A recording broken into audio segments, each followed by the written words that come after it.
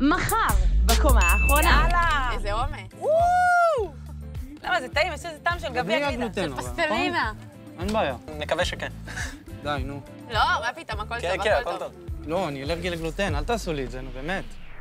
יש לי סחרחורת, אני צריך שיביאו לי את המשף מהאוטו.